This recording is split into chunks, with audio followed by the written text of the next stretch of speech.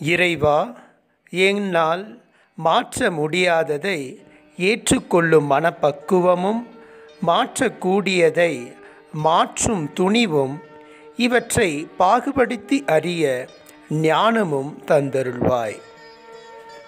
தினமும் நம் சிந்தனைக்கு சிந்தனைகளின் தொகுப்பாகிய இப்புத்தகம் ஏஏ உறுப்பினர்களால் ஏஏ உறுப்பினர்களுக்காக மார்ச் எட்டு. தலைகீழாக திருப்புதல்.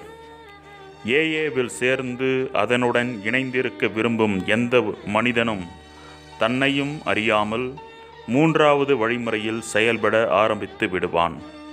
மது சம்பந்தப்பட்ட எல்லா விஷயங்களையும் இனி ஏஏவின் கவனிப்பிலும் பாதுகாவலிலும் வழிநடத்துதலும் விட்டுவிட வேண்டும் என அவன் முடிவெடுக்கவில்லையா?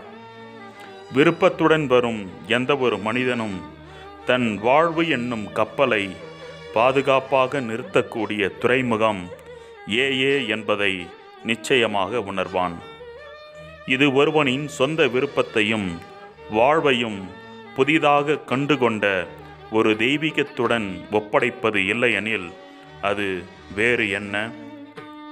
பனிரெண்டு வழிமுறைகள் மற்றும் பனிரெண்டு கோட்பாடுகள். இறைவனிடம் சரணடை என் குணமடைதலின் முதல் படி. நாம் ஏஏ குழுவின் உதவியினால் ஆன்மீக கதவுகளை திறந்து இறைவனிடம் நமக்குள்ள உறவு முறையினை தேடுகிறோம் என நான் நம்புகிறேன். ஏஏ வழிமுறைகளின் பாதையை பின்பற்றிச் செல்வதில் என்னை நான் ஈடுபடுத்திக் கொள்கையில் எனக்காக சிந்திக்கக்கூடிய ஒரு சுதந்திர உணர்வு எனக்கு அளிக்கப்படுவதை உணர்கிறேன். எனது அடிமைத்தனம் என் சிந்தனைகளை சிறையிட்டு வைத்திருந்தது.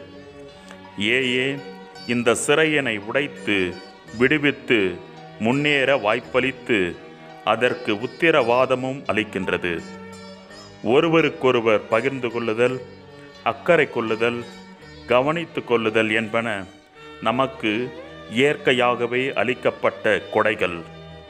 இறைவனை பொறுத்த என் மனப்பான்மை மாற்றம் அடையும் பொழுது இக்கொடைகளும் மாற்றம் அடைகின்றன. இறைவனின் சித்தத்திற்கு என் வாழ்வை அர்ப்பணிப்பது எவ்வாறு என்பதை தெரிந்து கொண்டேன். இந்த இரண்டையும் தக்க வைத்து கொள்ள நான் பெற்றதை பெற்றவாறு பிறருக்கு கொடுத்துவிட வேண்டும் என்பதையும் தெரிந்து கொண்டேன்.